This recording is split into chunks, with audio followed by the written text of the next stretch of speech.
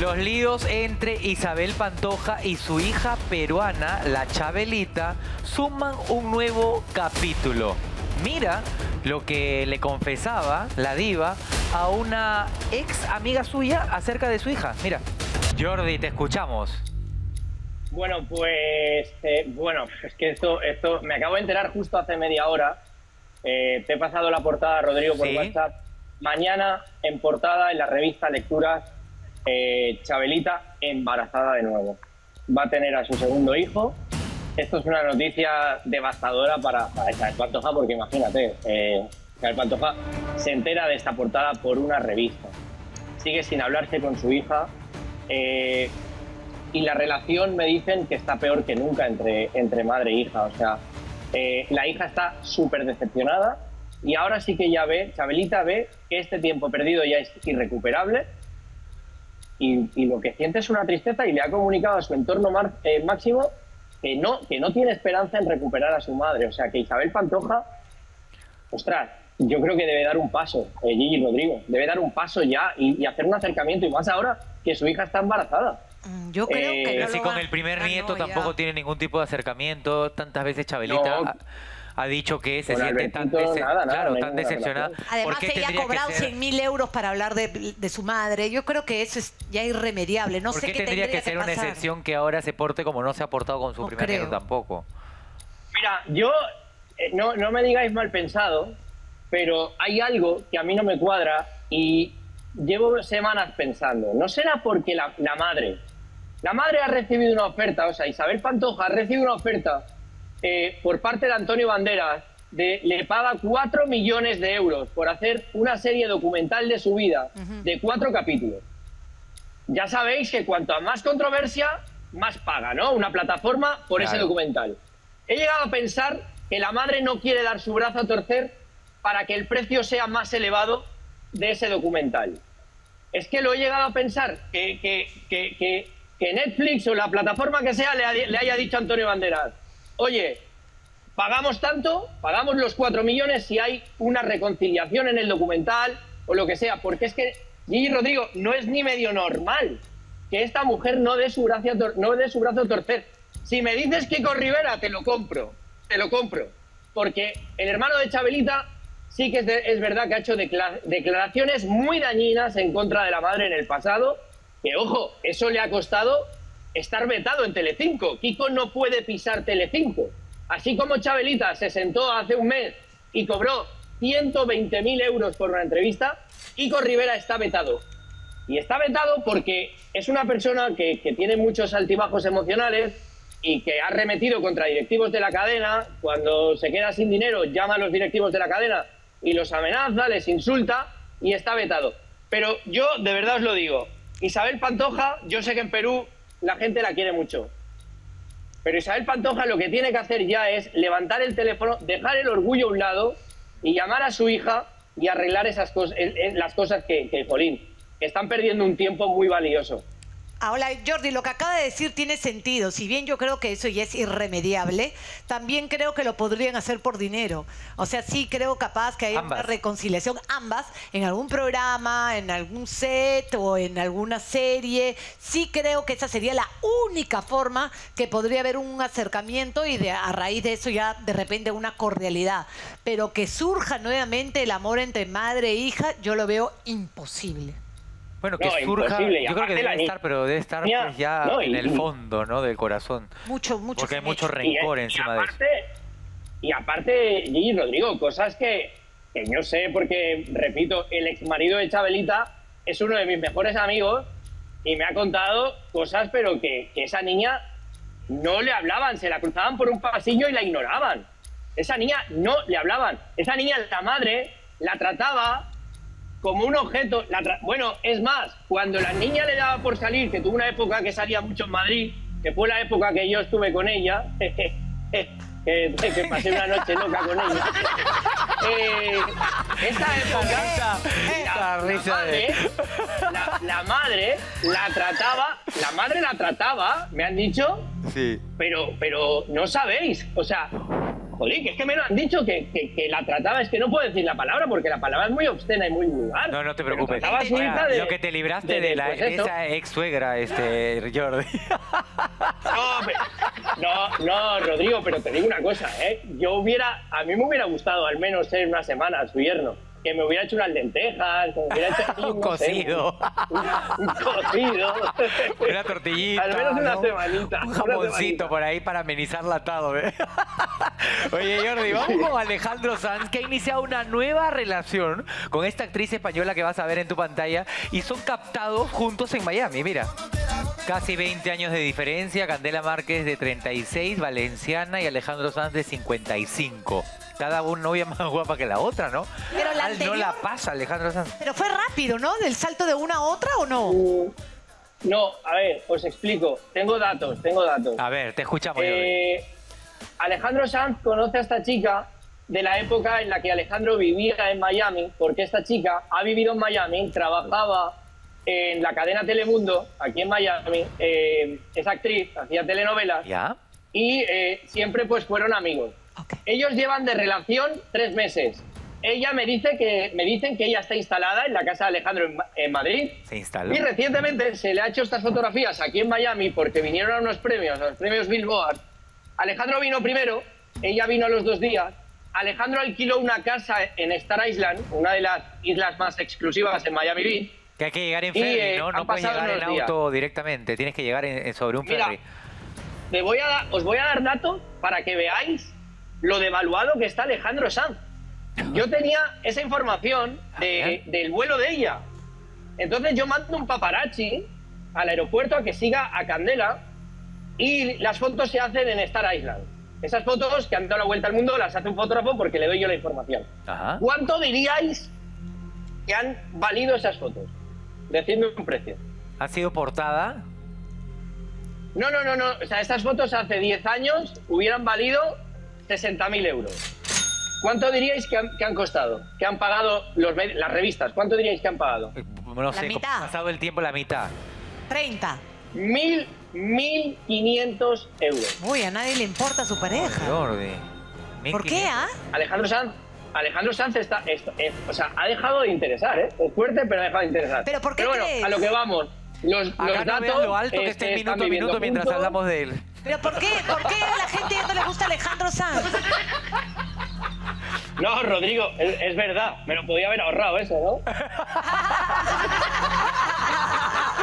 Aquí en Perú eso no pasa. Oye, que no, que broma, que costaron 50.000. Que el tío está pegado, está más pegado que nunca. ¿Cómo puedo decir en la nota que este tío no le interesa a nadie? Jordi, 1500, Total. 1500 dólares es entonces lo que ha cobrado ahora por esas fotos exclusivas con su nuevo amor. Sí, sí, Ahora, sí. barato porque ha dado la vuelta al mundo. Vamos, a explicar a la gente de Perú que no es que, que ahora las revistas se están apostando más pues por, por, por otro pu- pues por otro tipo de personajes ¿Por quién pagan más más? jóvenes. Hoy por hoy, ¿por quién pagan más? Si ¿Por quién más las revistas? Sí. Ah, bueno, perdona, perdona, perdona. No, vamos, a, vamos a poner un ejemplo. Piqué y Clara Chía están súper devaluados. Tengo unas fotos de Mónaco de la semana pasada de ellos, las he ofrecido a todas las revistas y no las quieren. Es decir, Au. que es que... ¿Qué?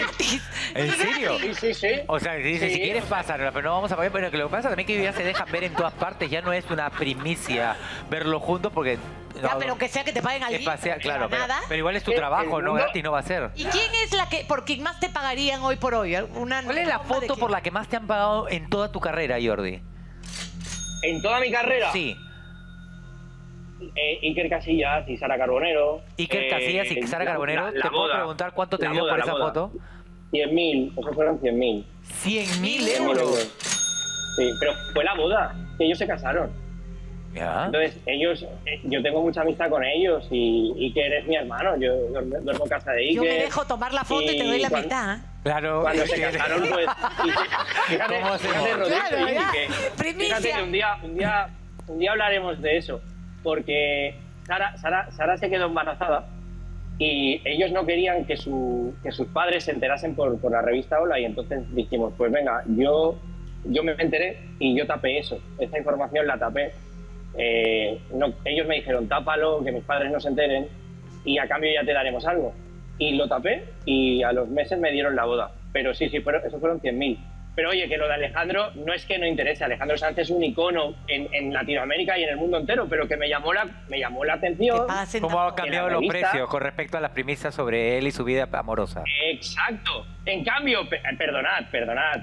Aitana y Sebastián Yatra, por ejemplo, el romance que se hizo aquí en Miami el año pasado pagaron 50.000. Es decir, las revistas están apostando por, por temas pues más con gente más joven. Jordi, y en ese pena, momento que sí era una exclusiva tener una imagen de Clarachía donde se sabía muy poco de ella y tú la sacaste en la portada de, creo que fue Hola, que estaba con el pelo así medio descuidado y con un vestido a rayas. ¿Cuánto te pagaron por esa foto en ese momento? 85.000. Ay, Y agarra la cámara, hagamos algo. Sí, sí, con el sí. teléfono. Hazme Rodrigo.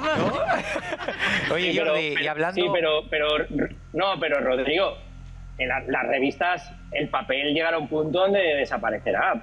Claro, pero igual las vendes a los medios digitales que la, la inmediatez de la, de la noticia, pues ya, ya la conocemos todos y eso da la vuelta al mundo en 0,5. Jordi, hablando de la novia de eh, Alejandro. Sanz, que es valenciana, queremos que nos traigas la última hora de lo que ahí continúa ocurriendo y sobre esta alerta que se avecina, podría llegar una nueva Dana. Te escuchamos. Ostras, pues lo que está pasando en España es una catástrofe enorme. Eh, bueno, eh, yo que tengo mucha gente en Valencia, están, eh, está- es que hay gente que ha perdido absolutamente todo, o sea, familiares, negocios, todo. Y mañana, miércoles, llega una nueva Dana a España, va a entrar por Baleares, por Ibiza y por Mallorca. Eh, va, va a recorrer todo el litoral, desde Cataluña hasta Andalucía. Lo que pasa que, claro, desgraciadamente cuando pasan estas cosas, pues eh, la gente ya está más preparada. Ahora la- los sistemas de alerta van a funcionar mañana en España. Se está hablando de que la gente donde suenen esas alarmas no salgan de casa, pero lo de Valencia se podía haber, se podía haber evitado. Yo creo que hay culpables, eh, que el gobierno valenciano y el gobierno central lo que deberían es ahora mismo ir a una y no echarse tanta mierda los unos a, a los otros, pero después va a haber que pedir responsabilidades, porque esto, esto se podía haber evitado. No, eso que has dicho y además de barro, Además del barro que les han Eh, tirado pues al presidente de gobierno, a la reyes reina, al rey, reyes. que no se fueron a diferencia del presidente de gobierno y se quedaron a escuchar a la ciudadanía que les pedía, les reclamaba. Más empáticos que el presidente no, fueron. no se subieron tan rápido al auto y se fueron como el Lo de los reyes ha sido la primera vez que, que les abuchea, se les tira barro, ha sido insólito. Yo creo que reaccionaron bien los reyes Sí. en ese momento de no irse y quedarse para dar la cara, porque el pueblo al menos era lo único que pedía que diesen la cara. El presidente del gobierno, Pedro Sánchez, se tuvo que ir y fue la mejor decisión que tomó, porque es que si se hubiera quedado, eso hubiera acabado muy mal. Eh, y yo, vamos, yo creo que Pedro Sánchez no va, a, no va a aparecer por Valencia porque es que le fue, a Pedro Sánchez le fue, al presidente del gobierno de España le fue de nada. Pero es que lo además ir y ¿eh? para decirle a todos iban a matar, que ¿eh? si, de- ir y después de más de cinco días y decirle a todos si necesitan algo pídanlo. O sea, lo- la verdad que No, parece- no, no, no, la gente... Pareció- parecía una burla, verdad, lo que dices. gente- No aceptó la ayuda de Francia también, tengo entendido. No, no, ni la de Francia, ni la de muchísimos países que, que le mostraron que, ostras, que es que iban a enviar a militares, a bomberos, la rechazó, fue un irresponsable, eh, han omitido muertes, o sea, se está hablando de que ahora hay 50 desaparecidos, el primer día había 2.000 y ahora hay 50. Eh, ahí, ahí están pasando cosas que de verdad, que cuando esto pase va a haber que pedir responsabilidad civil y penal para los responsables y el presidente del gobierno, evidentemente, que es un responsable grande en todo lo que está pasando. Y el pueblo y las empresas privadas son las que más han respondido, ¿no? Todos han ido en, en ayuda a pueblo, Valencia. El pueblo y el pueblo es el que ha respondido. Eh, se ha volcado España entera, muchísima gente, eh, toneladas y toneladas de alimentos, de ayuda han salido para Valencia, eh, gente con sus coches, con sus camiones. Eh, la verdad que yo no recordaba esto jamás, ni en el, ni el- ni en el COVID. El pueblo Pero- está salvando al pueblo porque las autoridades, la verdad, y su negligencia y su ausencia de acción ha movilizado a todo un país que los hace sentir que no están solos. Estamos viendo justo ahora Los un grupo de senegaleses que han ido a un pueblo de Valencia y están limpiando y quitando todos los escombros, ayudando. Mira ahí, podemos verlo a pantalla completa. ¿Tenemos audio sobre eso? Podemos que subirlo. están por favor? ayudando, como lo que están viendo en sus pantallas, sacando con sus propias manos, sin trajes, sin guantes. La solidaridad vamos, vamos, realmente vamos, increíble. No, y, y- no, no, no. y, oye, y es que es precioso. Esto a mí me parece súper bonito que este, este grupo de, de africanos, indios, hayan ido a ayudar. Es que me parece precioso. España está toda una. A mí me, me hace gracia cuando el presidente del gobierno dice que los grupos de extrema derecha son los que han intentado. eh, pues eh, hacer un altercado contra él o una agresión. Que no politizan ha habido grupos todo. de extrema derecha. Politizan. No ha habido grupos. No, de verdad, Gigi, no ha habido grupos de extrema derecha para nada. Pero esa es la, la explicación que siempre dan estos rojos de miércoles para poder este, deslindar responsabilidades, ¿no? Y generar grescas y divisiones políticas que nada tienen que ver en esto y que los españoles están demostrando que están más unidos que nunca, haciendo lo que el gobierno no ha hecho hasta el momento. Jordi, muchísimas gracias. Gracias, Desde aquí un Jordi. saludo con toda nuestra solidaridad. Fuerza para todos los de Valencia. fuerte toda la fuerza para todos los que están atravesando este difícil momento. Jordi, querido compañero, gracias, por Gracias, haber estado Jordi. hoy aquí con nosotros y hasta Gracias. pronto. Disfruta de Miami. Un beso. Síganlo. Os quiero. Ya saben, a Jordi le encuentras 24-7 en su Instagram, arroba Jordi Martín Paparazzi. Ya saben que ahí 24-7 toda la información, imágenes del espectáculo. Así que ahí lo pueden encontrar. Gracias Jordi por haber estado con nosotros. Volvemos en tres minutos.